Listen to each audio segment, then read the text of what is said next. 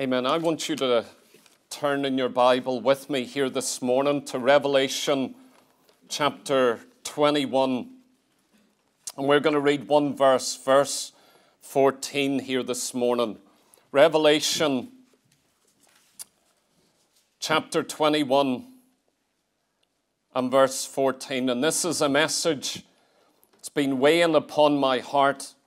I want to minister unto you. It's got an unusual title an unusual subject, but a very serious message, a very important one, one that can affect your life here this morning. Depending on what you do with this, could affect your eternity. It's of such reality and power and importance.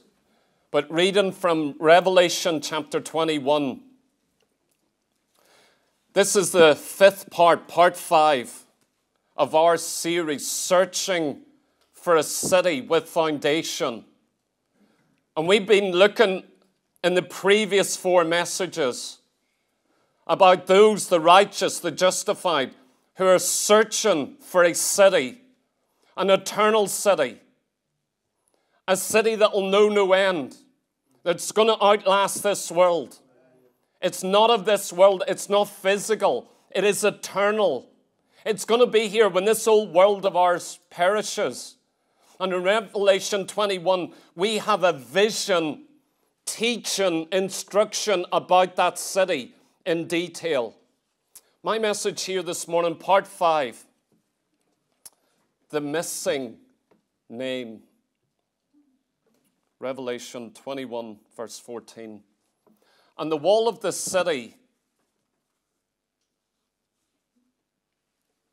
had 12 foundations, and in them the names of the 12 apostles of the Lamb. Let's pray together. Father, we bow our heads and hearts to you, before you here this morning. Lord God, we acknowledge your power and your presence and your sovereignty. Lord God, we acknowledge your goodness and your mercy and your grace, your kindness towards us, oh God, your long suffering, your endurance, oh God, your bearing long with us. My God, thank God for the mercy of God, that it's your character and nature to show us mercy, O God. nor God, to hold back what we deserve, to be very patient and enduring with us. Lord God, we thank you that you're a good God and a kind God and a loving God and a merciful God. You're a God of grace who gives us what we do not deserve. And you're a God of mercy that withholds what we do deserve. And Lord God, we bow before you and acknowledge you this morning. And even as we deal with this message, the missing name, as we look at the new Jerusalem, the heavenly Jerusalem, the city of God, the very city that the righteous of God are going to dwell in for all eternity. Lord God, I pray, oh God, that there wouldn't be one in this gathering whose name would not be mentioned in that city. Lord God, will you make us to tremble at the thought of being so close to the gospel, of hearing the word of God, of being around Christians, of hearing the gospel time without numbers, of seeing changed lives, so God, and yet not experiencing the power, the forgiveness, the indwelling of your Holy Spirit. Lord God, we ask of you, wash us in the blood of the Lamb. Make us clean, O God. Make us white in the precious blood. Make us to know what it is to be forgiven by Jesus and to have a personal relationship with Him. In Jesus' mighty name. Amen. My message here the missing name. It's a strange title, The Missing Name. Imagine something of great importance and you expect your name to be there. You know your name's going to be there. But you turn up and your name's not on the list. Imagine dressing up, preparing, traveling to a wedding, and you get to the door and your name's not on the list. That's nothing. I'm talking about something of great worth here, something far more important. You can't imagine the importance of having your name written in certain places. You can afford for it not to be written down here, but you can't afford for it not to be written in heaven. The verse that we have just read here, verse 14, talking about the new Jerusalem in the new heaven and earth. Listen to the, what it says about the city. And the wall of the city had 12 foundations. And in them, in the foundations, engraven on those foundations, are the names of the 12 apostles of the Lamb. 12 apostles of the Lamb. The names of 12 men were written on those 12 foundations.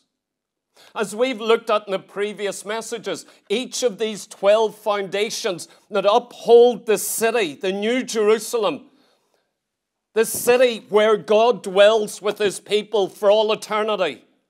These are men's names on the foundation. They are apostles of Jesus Christ. We know about the 12 apostles. Their names are written on these stones, they're engraved upon them.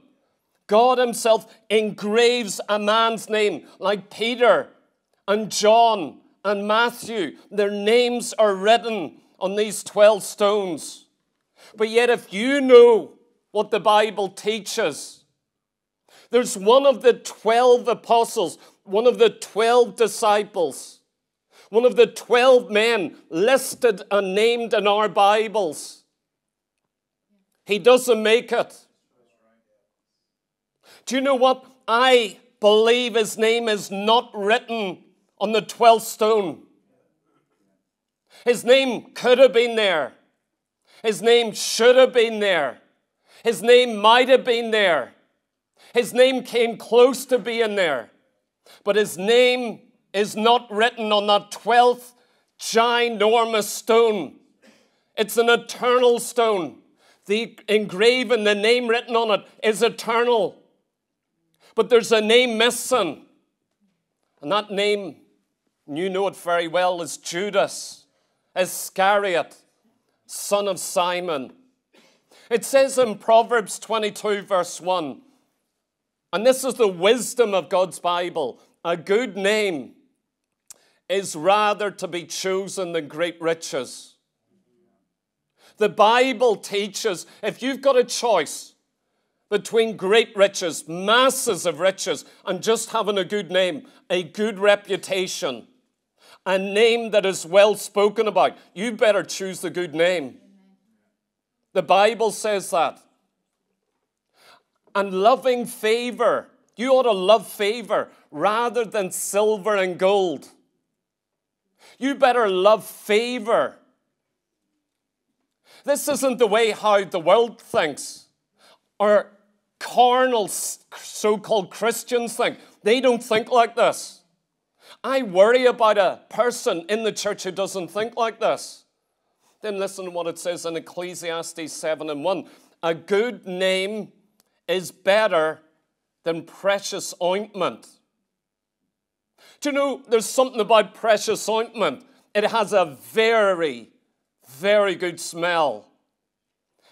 If it's good ointment, it's got a long lasting smell. My deodorant dissipates after a few moments. It's cheap stuff. That's why. But if you're willing to pay enough and search enough, if you want that special ointment, that smell will linger. It, you can walk into a room and it can actually be smelt in the room. That fragrance comes into the room.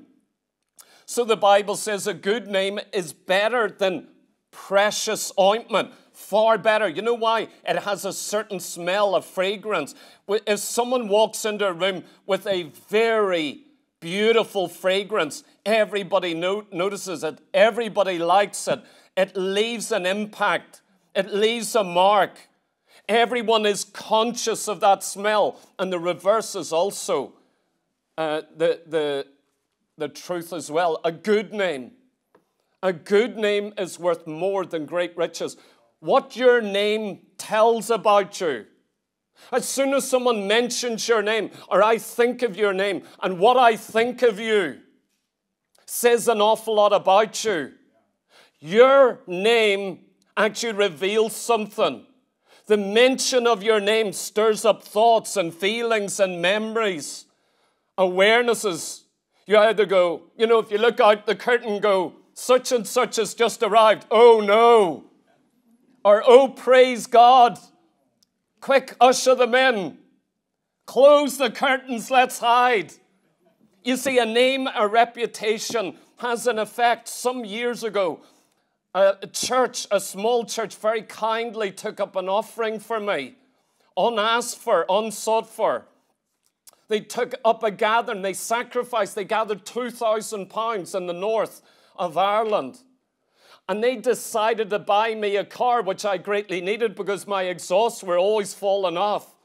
I, I was noted or oil leaks or something else. Well, they bought me a car, and before I got it, the pastor stood excitedly saying, We've got you a car. And we got it from such and such a Christian man who has a car dealership. My entire heart sank into the soles of my feet. I couldn't tell them. I didn't utter it. I didn't tell them what I thought. But you know what was going through my mind? If there's one car salesman in all of Northern Ireland I would not go to. He is the one. I don't know about cars. I don't know about buying and selling. I don't know about garages. All I know is in the entire nation, there's only one man I wouldn't buy a car off, and he is that man. In the entire world, I'm not joking, his reputation, my heart sank. My entire heart went down. I went, oh no. But I said, let's hope for the best. I got that car. I had it seven weeks. We were on School of Christ delivering students back to Shannon Airport just down this road who had to get there in time for their flight. And I'm halfway between Limerick and Shannon Airport, and all of a sudden, my entire engine cracks open. I don't know what's happening. And I end up at the side, all of a sudden, there's a fire engine on the motorway. And I go, What are they doing? No, it's for me. All the oil is in, across the entire carriageway. And my heart sank, and I went, I, I'm telling you, a name and a reputation means something. Never, ever buy a car from a so called Christian car salesman like that. Never, ever. If you want to know who he is, just come to me afterwards and I'll tell you don't buy a car there. See, reputation means something.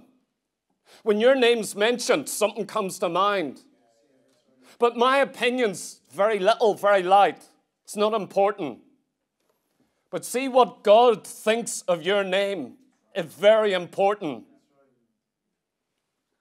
I've got three points here that I want to deal with concerning this verse and the teaching of Scripture. Number one, a notable name. Number two, a notorious name. And then number three, a non existent name. Number one, a notable name. I'm going to deal with Judas here. His name should have been on one of those stones, one of those 12 stones, eternal stones, ginormous stones, precious stones in the very city of God, but it's missing. This is the first thing I want you to see is a notable name. Judas actually had a notable name. When he was born as a little baby boy, he was given a notable name. The name Judas is not a bad name, it's a good name. It's the same as Judah in the Old Testament, it means praise, to praise God, to make much of God. His parents must have had high ideals, influenced by the Word of God. They come out of the tribe of Judah, that means to praise the Lord. That tribe led the way, it was a leadership tribe. It led the way in following after God and walking in the ways of God. That's what the tribe was. He was born into a tribe very near Jerusalem, the city of God. What a thing to have a name like Judah or Judas. It wasn't a bad thing, it was a very, very good thing. When you come into the New Testament and you begin to read Matthew and Mark and Luke and John, you begin to read lists of 12 men that were chosen by Christ to be with him. A list of 12 names. There are four lists of the 12 apostles. You find them in Matthew 10, Mark chapter 3, Luke chapter 6. And then you get a fourth list of 12 names in Acts chapter 1. As you read these lists, Peter, you know Simon Peter, Peter is always first in all four lists. He is always first. The order sometimes differ in these lists, but if you look at every fifth person, or the first person, the fifth person, and then whatever other person, they are always the leader of the pack. There's three groups of four, and you have a leader, the same leader of those particular band of four men. It's laid out in that way. So you have these four lists that keep going like that. There's three groups of four. When you begin to look at these names, there's two sets of brothers within the apostolic band. There's also another man called Judas. So there's two Judases, but they're always distinguished.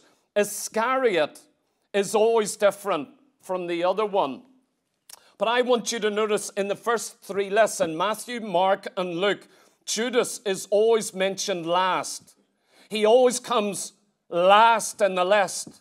He always comes 12th in the list, but he is mentioned there. This band of men, unique men, unusual men, he's got his name on the list. 12 men. Do you know what? The apostles of the Lamb only remain 12.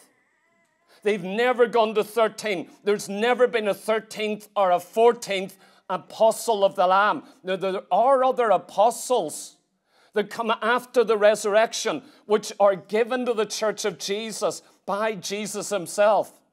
But these apostles of the Lamb are utterly unique. There's only 12 apostles of the Lamb. They never can increase. In Matthew, in the Gospel of Matthew, the 12 are referred to nine times. In other words, they're not primarily called apostles, they're called the 12. The 12. One of the 12.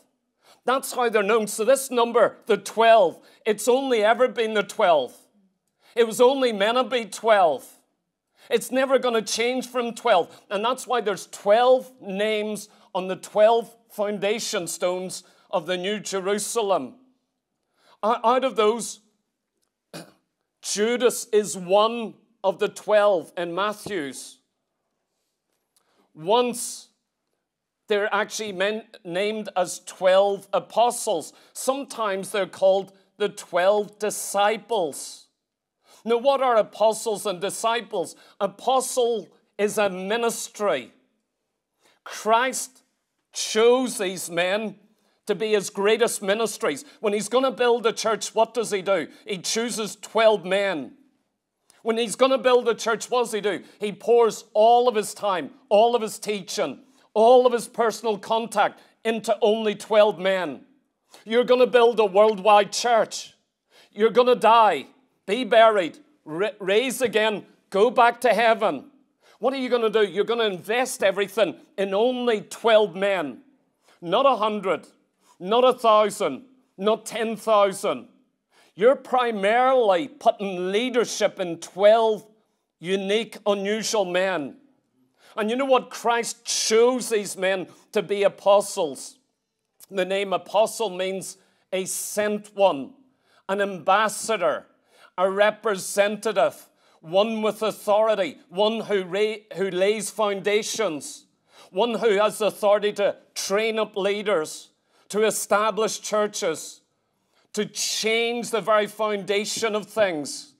This is what apostles are to go into new areas, to raise up the church for the very first time. Only 12 men were chosen like this, but they're also disciples. Notice they're called the 12 disciples. The 12 disciples. The word disciple means a taught one or a learner. Notice these 12, they're uniquely called the 12 taught ones, learners. They're with Christ being taught. They're his personal disciples to embody all that he teaches. They're meant to be marked with his message and then carry his message and then communicate his message. These 12 men are utterly unique, and Judas is among them. That's why I say he's got a notable name, not only by his birth, but by his reputation. Imagine being named, chosen, called to be one of the unique 12 one of only 12 that are going to be with Christ in a special way, and one day have your name on the eternal city of God where all the people of God dwell. Imagine having your name on such a list. It's remarkable. And Mark the 12 are referred to 10 times, always as the 12, never as the apostles or disciples. In Luke, the 12 are referred to nine times usually as the 12, but as apostles as well. Then in John, four times the 12 are mentioned. This term, the 12, is repeated time after time after time. It is more important than saying the apostles. They don't just say the apostles, they always say the 12 and then define them. They are apostles, they are disciples, they are with Christ, they do follow Christ. And notice what it says here in Revelation 21 and verse 14. It calls them the 12 apostles of the Lamb. Who is the Lamb? It's the Lord Jesus Christ. Notice he's called the Lamb. They're 12 apostles of the Lamb. You know what it means when John the Baptist pointed Jesus said, Behold the Lamb of God? It meant he's the one prophesied for thousands of years. One is going to come who's going to shed his blood. One is going to die like a lamb for the sins of the entire world. His name was Jesus. These men were chosen to be the ambassadors of the Lamb of God. He's innocent. He's meek. He's harmless. He's sinless. He's perfect. He's a chosen lamb. He's a sacrificial lamb. He willingly dies. He lays his life down for sinners. That's who the Lamb of God is. And look, this Lamb that's going to die for the sins of all the world, in all of time, in every generation, he's a meek Lamb. He's God's Lamb. Do you know what? He only chose 12 apostles. I want you to notice some things about Judas. This man with a notable name. Everybody knew his name in that hour. Everybody in the early church knew who he was. Tens of thousands. Imagine having meetings, tens of thousands. Everyone knew Judas. He's one of the healers. He's one of those that cast out demons. He's one of those that associate with Jesus Christ. They have mega meetings of 10,000 people. They, they feed the hungry. 5,000 at a time. Give me these loaves of bread and few fishes, and I'll feed thousands. Guess who's one of them handing this out? The bread out, the fish out. Who's seeing it? Who saw Peter walk on the water to Jesus? Remember, Jesus came walking.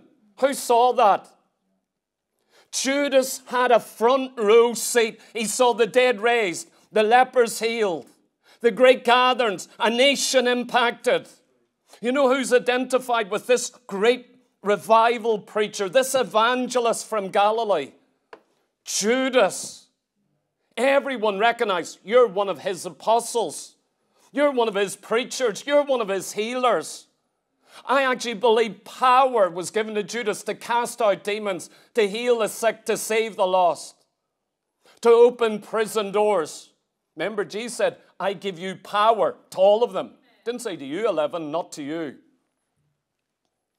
What a remarkable name.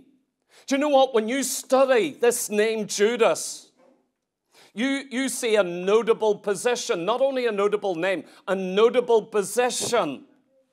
He was chosen to be an apostle after Jesus prayed all night. Christ spent one entire night praying in order to choose 12 men. He didn't sleep that night. Judas was the name he chose. You are going to be one of my 12 apostles. Your name's chosen by Christ Himself to be an apostle. A notable name, a notable position a notable association. One of the prophecies in the Old Testament about Jesus, it said about the Messiah, the coming Messiah. It says this Psalm 41, verse 9. Yea, my own familiar friend, speaking about Judas, the one who's going to betray him, lift up his heel against him, hate him. But listen to what it says first my familiar friend. Do you realize Judas had an association with Christ? He was a familiar friend. Imagine eating together, traveling together, speaking together, sleeping side by side, sharing your food, your money, your coat. You're a familiar friend in whom I trusted, which did eat of my bread. Or what about Psalm 55 13? But it was thou, a man, mine equal, my guide, mine acquaintance. Do you know certain times Judas guided Jesus to a certain spot? He was an acquaintance. He was familiar. So here's Judas. He's got a notable association with Jesus. Not everyone could travel with him. Do you realize thousands wanted to travel with Jesus? Wouldn't you? Wouldn't you be? He comes through your little village town. Please let me travel with you. You can't have thousands of people travel around like that. You just can't do that. Judas had an unusual association and closeness and insight and constant communion with Jesus. He watched him from morning to night. Notice as well, a notable movement. Judas was part of a notable movement. This was a radical, revolutionary religious movement that still has not come to an end. It changed our world. Judas was at the beginning of a revolution, a spiritual revolution from heaven. He was right at the heart of it. Can you imagine being part of a movement that impacts an entire nation, an entire generation? No, an entire world. Can you imagine being that close to Jesus, the preacher, the prophet, the sent one, the Messiah? Can you imagine that? A notable recorded history.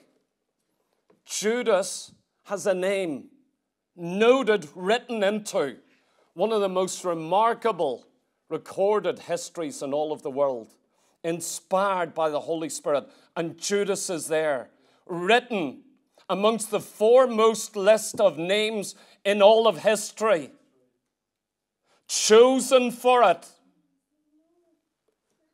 Do you realize how remarkable what I'm saying? And then what about a notable promise that we have? Remember Jesus in Matthew chapter 19 and speaking to the 12, and Peter says, We've forsaken all. What about us? We've forsaken home. We've left our town, our villages, our family, our jobs, our fishing nets, our money, all of our savings. What about us? Jesus says, Don't you worry. I'm going to take care of you. Do you know one of the things he says to Peter at that time? He says, Ye also shall sit, turn to the 12, ye also shall sit upon 12 thrones judging the 12 tribes of Israel. Imagine this small, rough bunch of men, Galilean fishermen, Judas, And Jesus saying, Do you realize the tribes of Israel, all 12 tribes from every generation for over a thousand years and into the future, you are going to sit on 12 unique thrones and you're going to be judging these entire tribes of Israel that you come out of. You're an ignorant fisherman, but you're going to sit and judge princes and judge kings all through the generations. So we have a notable, notable promise. Judas is there with a promise. You 12 are going to have a unique position. Do you see why I say that Judas had a notable name? A notable name. Second of all, he had a notorious name. You know that. A notorious name. Do you know the word notorious? It means to be known very widely for something very bad. We use the word infamous. To be famous is a good thing. To be infamous is to be famous for the wrong thing. Infamy, badness, Saints of God, can I ask you, do you have a notable name? Do you have a notorious name? Doesn't matter what I think about you, what about God?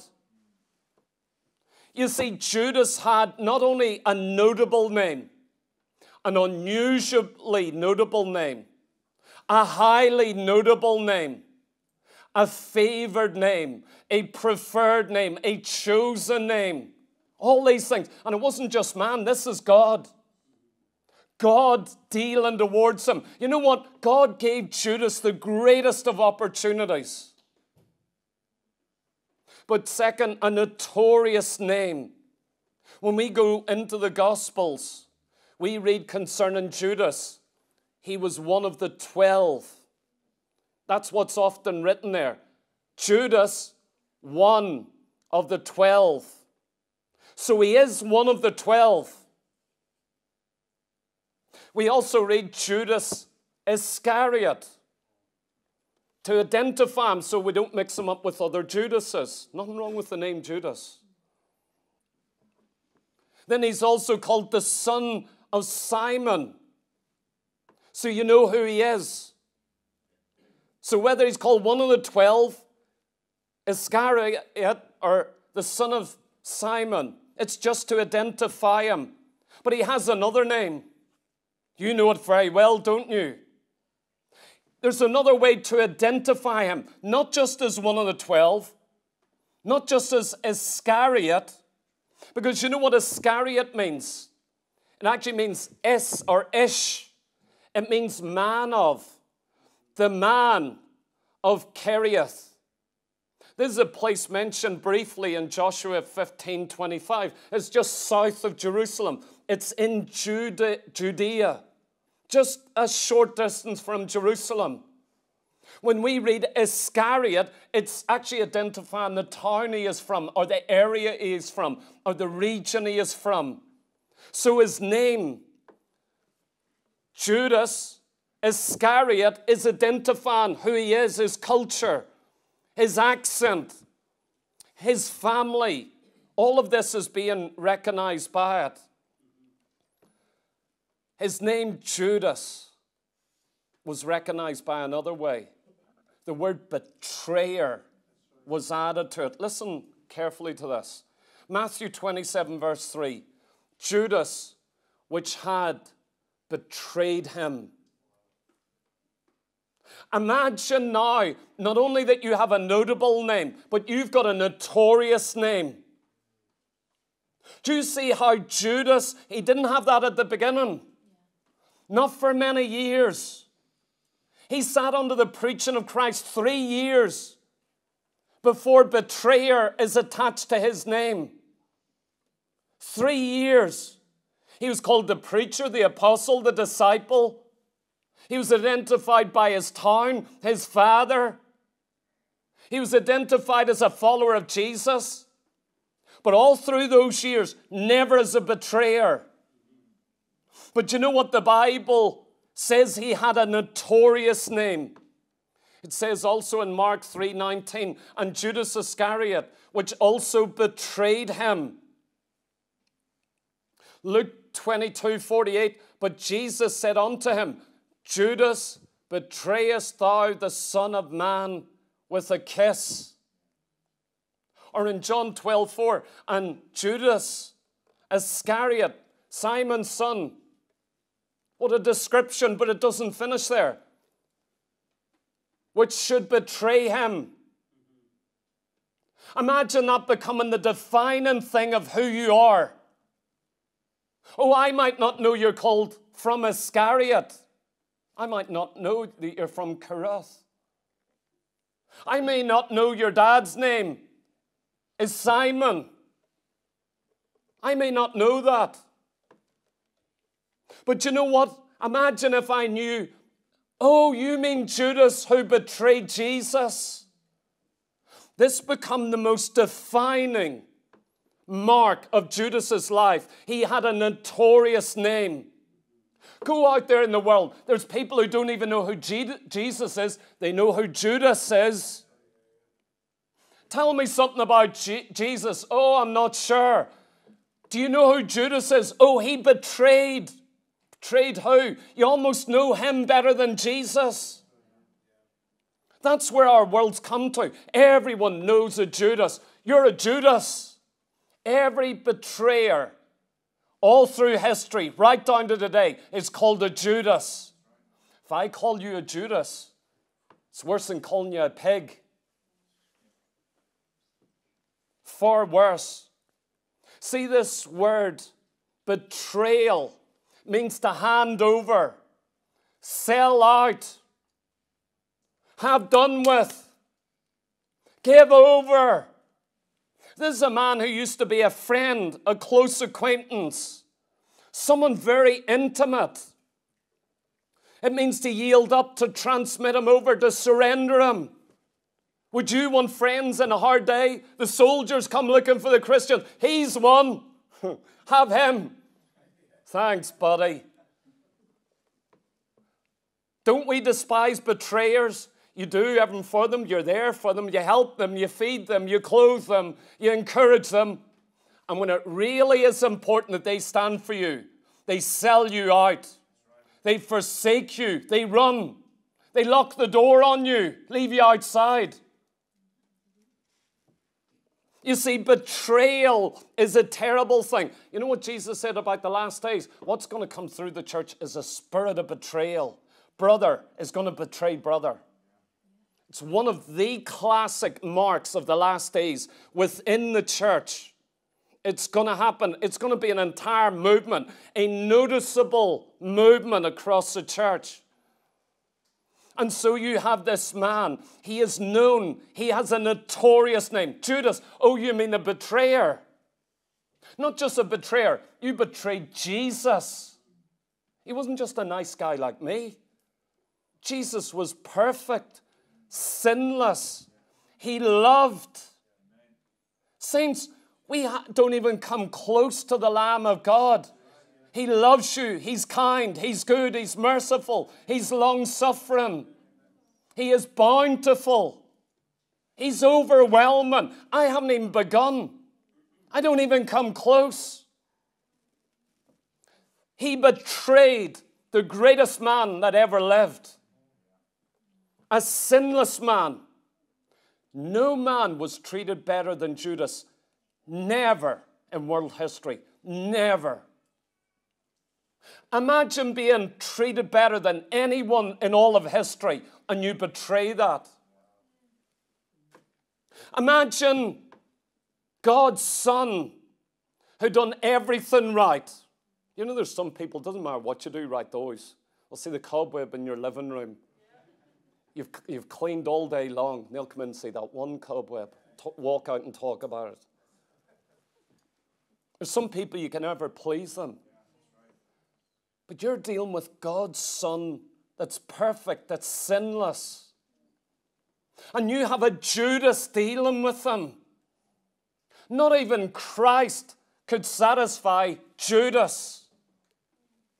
Listen to me. There's people in the church Not even Judas, or sorry, not even Jesus is perfect enough for them. You won't meet their standards, no matter what you do. Notice Judas's notorious name. He didn't always have it, he was given it. Do you know why he was given the name betrayer? Because he was known by his actions, by a decision or multiple decisions, by events that he was caught up with, people he got embroiled with. Not Judas, but betrayer. It's not the name Judas that was bad. There's nothing wrong with the name Judas. It's a beautiful name. But you know what the issue is? It's the reputation associated with that name because of the actions. You've now got a notorious name because of your decisions, your attitudes, your actions. You may not be a Judas, but you could be sitting here. Your carelessness about God, your casualness, your ignorance, your lethargy, your apathy, your indifference. You're marking out your reputation before God your sin, your love of sin. You need to be so, so careful. See Judas behind his actions to betray Jesus, to kiss him, sell him for 30 bits of silver, to identify him with a kiss to his enemies, lead his enemies right to him where he is. But you know what? Behind the traitor was the tempter. Oh, yeah, Judas was absolutely responsible, absolutely, for every action, every thought. But you know who came in behind that in order to push him over the edge? Because who would betray the master? See, I look at the church, I look at the world, I see sinners I see professing Christians do things, make decisions. It's not natural. I mean, who would do those things in the church? Who would be a preacher and lie? Who would dare do that? Who'd be a pastor in a church and manipulate and abuse people in the church? Who would do that? Who could do that? Do you think you're just looking at a man? See, some men and I said it the other night sin will take you further than you want to go, keep you longer than you want to stay. You need to be aware sin. You can't play with sin. Remember what the Proverbs say? Can a man take fire in his bosom and not burn himself? You know what it's talking about? Guys playing around with wee girls. You don't want to do that. That'll take you a long way. You see, behind Judas is he had sin, he had thoughts, he had decisions, actions. There came one who he wasn't aware of.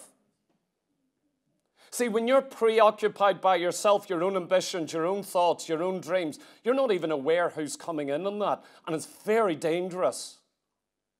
Because you won't be aware of him. You won't see him. You can't see him. See Judas. Listen to what it said in John chapter 6, verse 70. Have not I chosen you twelve, and one of you is a devil? Imagine saying that to your disciples. There's only 12 of us. I've chosen you 12. He limited the number. One of you is a devil. One of you is going to betray me. But woe to that man who betrays me. It'd be better you had never been born. You don't want to be alive if you ever do this to Christ.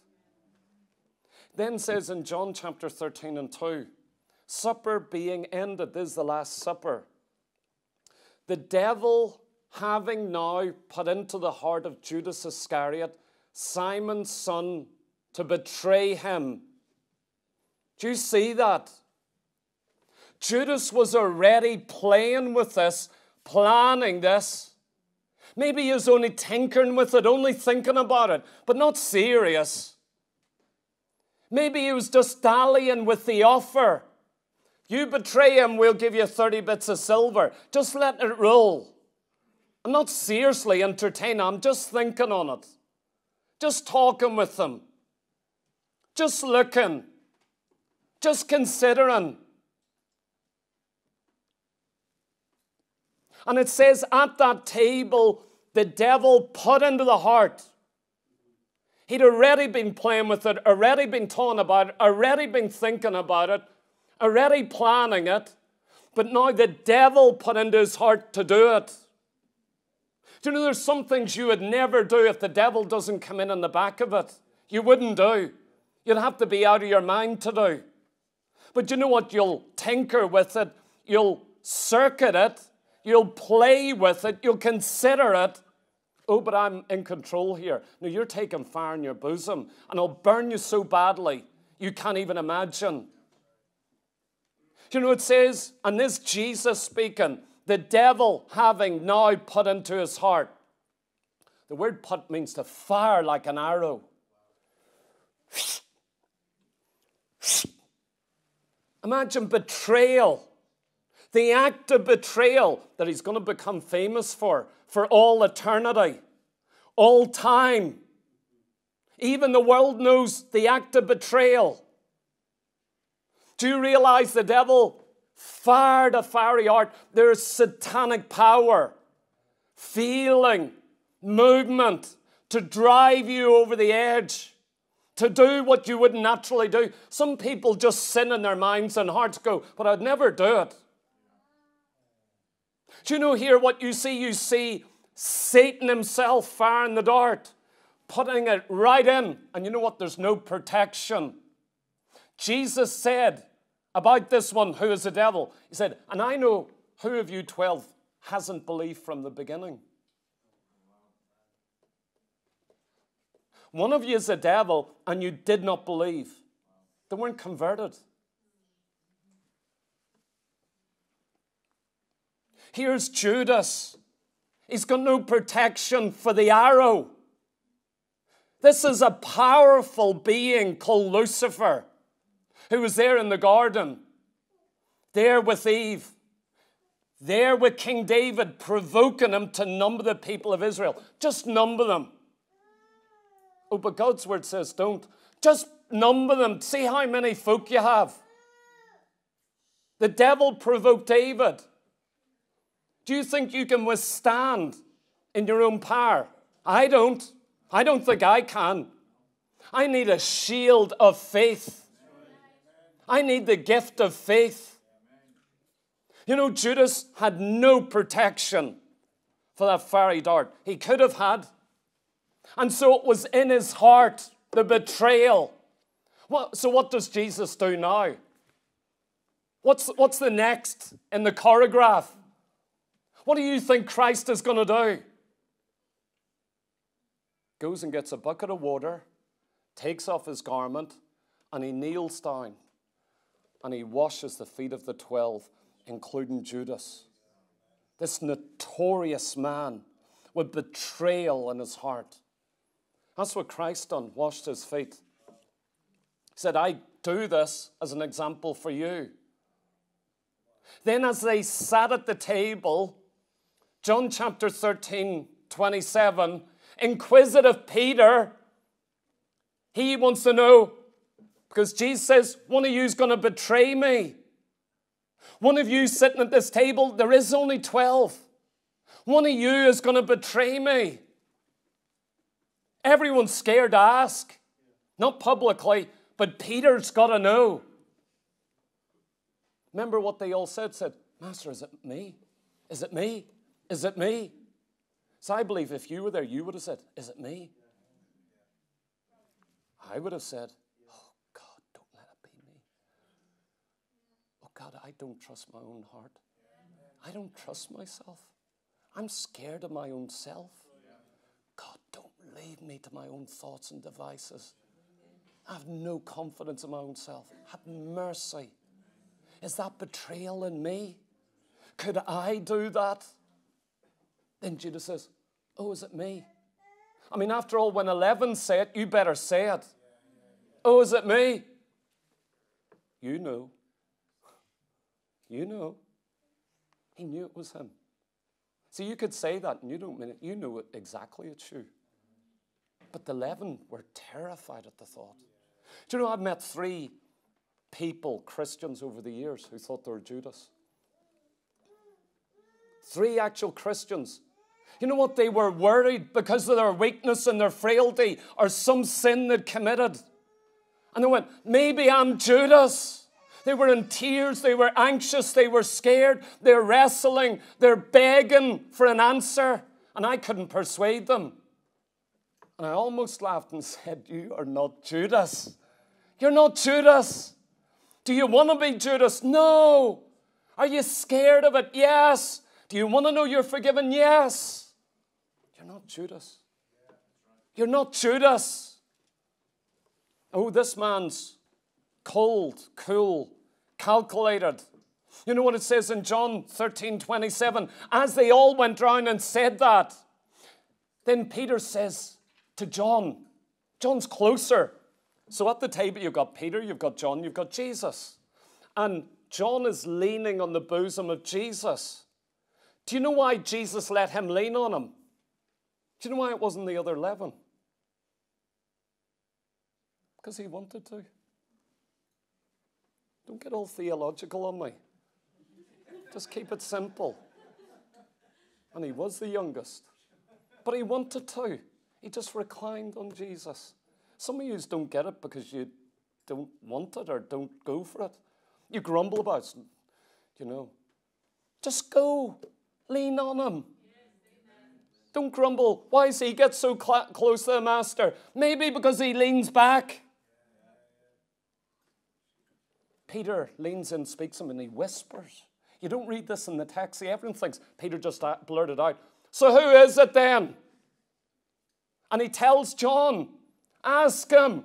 Why would he, if he's speaking out audibly, why would he say, John, you ask Jesus? Why would he? He didn't. He asked John, ask the master who it is. He whispered it. No one else at the table heard. Peter whispers to John, John, who is it? Ask him. I just know he's going to answer you. That's why I get so annoyed with you, John. If anyone's going to find out, he'll tell you. He's mad at John. That's going to get sorted. And then John turns to Jesus and goes, Master, who is it? And then Jesus speaks to him and says, The one who dips the sop with me in the dish. That's him. Do you realize only one person at the table got a marker to indicate who's going to betray him? Who's the betrayer? Who the devil's going to use? Who's a child of the devil? Oh, I could discern them. I can discern anyone. I can see who anyone is. I can see through you. No, you wouldn't have seen through Judas. You wouldn't have you would have thought he's a great guy, and a spiritual guy, and a thoughtful guy, and a moral guy, and a kind guy. You'd be so wrong. Do you know what it says? Verse 13, uh, chapter 13, 27. And after the sop, Satan entered into him. As soon as he dipped it in there, Satan, no longer an arrow being fired, Satan enters into Judas the betrayer. Now your fate is sealed. You're in a collision course with hell. This is demon possession. This is the devil entering into a man to make him commit a crime that it, no way you'd have to be crazy to do. But the devil's going to make you do it. He'll drive you to destruction. Then Jesus said unto him, was he speaking to Judas or the devil? That thou doest, do quickly. And he went out into the darkness of night. You remember back in the garden then, when after they've had the time of prayer in Gethsemane, and then here come the soldiers late at night. Who's leading them? Judas, the friend. the apostle, the disciple, the man who cares about the poor. Remember him? Man who carries the money bag. The familiar friend of Jesus, the one who casts demons out and who preaches and who heals the sick. Yeah, that's him. Here he comes into the garden late at night in darkness. The soldiers have their burning fire to see where they're going. You know what Judas done? He betrayed him with a kiss. You know what Jesus called him? Friend. Friend. Do you know in the past, some measly folk in the church that were really doing me dirt and I called them friend. Didn't know what I was doing. I knew what was happening. And when it's an act of betrayal, and I said, Friend, I've always treated you as a friend, and even now I do. You can do what you're going to do to me, but I'll treat you and act you as a friend. I'll love you, even amidst betrayal. This wasn't some sporadic crisis driven to this. No, this was a cool, calculated, well thought out act, an act of sin. It, it, came out of his own heart and mind. It was planned. Other people come in on it. Do you know what he's looking for? Just a bit of ground, 30 bits of silver. When you go over to Acts chapter 1, you find what his thinking was. With the 30 bits of silver, with the money, it's called the reward of iniquity to purchase a field. Or listen this, what it says in Acts chapter 1. It talks about the habitation be desolate. In other words, it was a little cottage, a little house, a little bit of land. What was Judas after? A little pension, a bit of retirement. This movement's going screw-if. We're all going to get killed here. I just want a bit of land. I'm thinking of myself. I'm thinking of my future. I'm thinking of my finance, my house, my welfare. Yeah, and you'd betray Christ for that. Some people betray him for a job, or a girl, or a guy, or a house. It's amazing what I've seen people betray Christ for. Oh, it's not 30 bits of silver. No, it's something. Eve done it for a bit of knowledge. I want to be like God. Okay, here you go. Remember the guy who took the Babylonish garment, brought the whole nation to a standstill? You, why did you damn yourself for a few bits of silver and a Babylonian garment. You see, he had a notorious name. Do you know there's only two men in the Bible called the son of perdition? It means the son of destruction, the son of damnation, the son of hell. Only two men. One is the Antichrist, and the other is Judas. Imagine being called a child of damnation. Imagine being identified with the coming Antichrist. You know why? Because the devil is going to enter into a man, a political man, a brilliant man, and he's going to sell his soul to the devil. You may say, well, the devil pounced on him. No, he did not. You know, this man, it says in Matthew 26, and from that time, he, Judas, sought opportunity to betray him. He sought, he was looking, he was thinking, kept thinking, how am I going to do this? How am I going to bring this about? In Mark chapter 14, and it says, and he sought how he might conveniently betray him. He's thinking, he's sitting at home, he's walking down the road thinking, how am I going to do this? You're going to regret the day you ever thought that. All of us have sinful thoughts. All of us have to fight the devil. All of us have failed along the way. But I'm talking about something brewing so deeply you can't imagine. See, he knew the place, he knew the time, he knew the persons, he knew the hour, he knew who, who would be there. It says in Luke 22 and 6, he sought opportunity to betray him unto them in the absence of the multitude. He's a coward.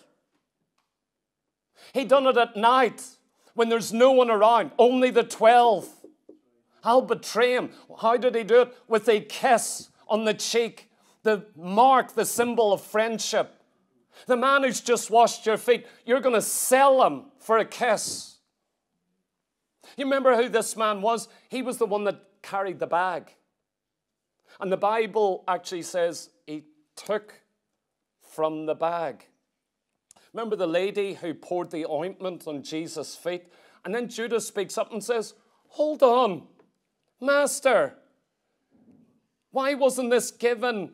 Why wasn't it sold for a hundred pence? That's a year's worth of money. Why wasn't it sold for a hundred pence and given to the poor?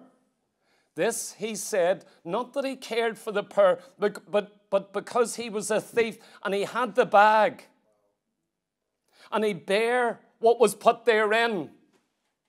Cunning man. Here's a movement in the church. We care about the poor. No, you don't. Judas was a professional, he was a hypocrite, he was a game player. He, he deceived everyone. Only little John knew who was going to betray. He didn't tell Peter, by the way. Didn't tell him. Peter was scared of his task. Maybe Peter was sitting going, Why hasn't John come back and told me? Maybe it's me. Maybe he was scared to ask. John, who, who said? You! You're the man! Maybe he was scared. You, you identify with these disciples far too much, you know. Far too much. Do you know what happened? I don't have time to go into this. He betrayed Christ. The devil leaves him, because the devil always does that. He leaves you high, high and dry. Commit the act, and he'll leave you. And you go, Why did I do this? What have I done? And the Bible says he sought repentance with tears. He tried to find it and couldn't find it. And then he tried to give the money back to the priest and said, I don't want it. I didn't mean to do it. Too late. See how the devil will take you further. He'll take you so far and destroy you. And then Judas went out and hung himself, and he couldn't even do that right. He messed up his own hanging, he made a pig's ear of it. And we're not going there. But do you know what happened in Acts chapter 1? We're told that two men. Says we're numbered to be chosen out to take Judas's place. And one of them called Matthias, and he was numbered with the 11 apostles. It wasn't Paul the apostle, it was Matthias was chosen. Who is he? You don't know anything about him. You can't tell me anything about Matthias. You haven't got a clue, but I'll tell you what his name is on one of the 12 foundation stones. His name is there eternally engraved on it. Can you imagine slipping in?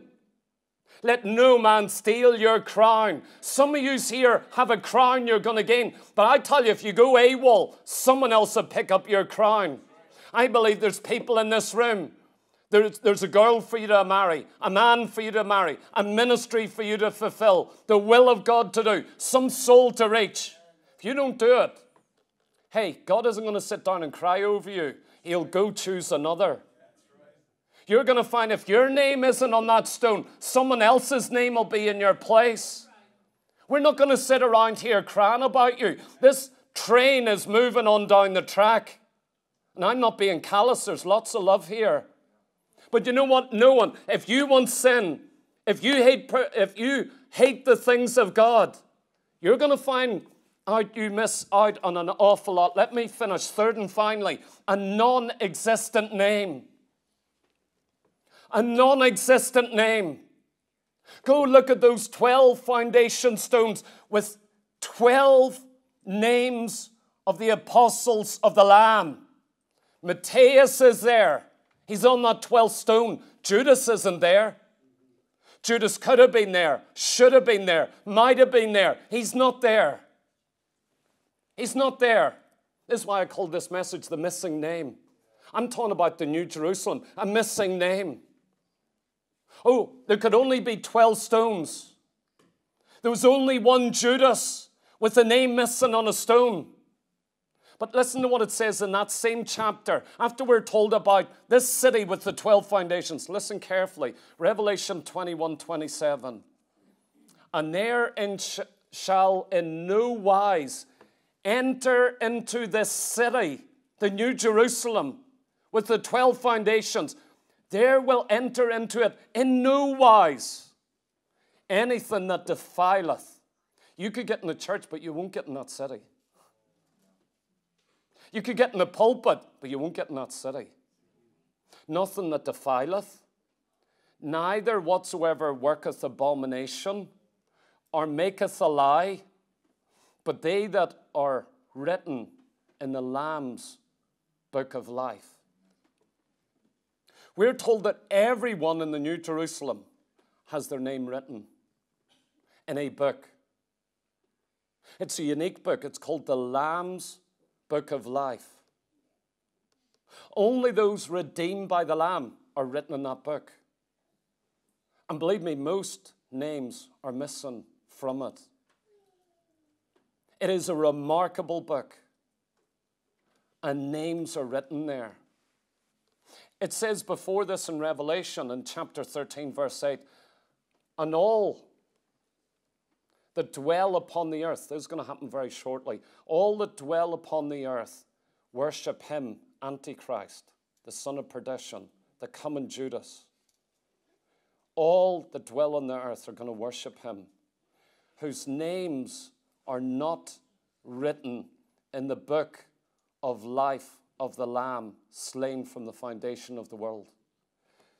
We are on the edge of something happening in our world that's not natural. And we've never seen it in world history. And we're very close.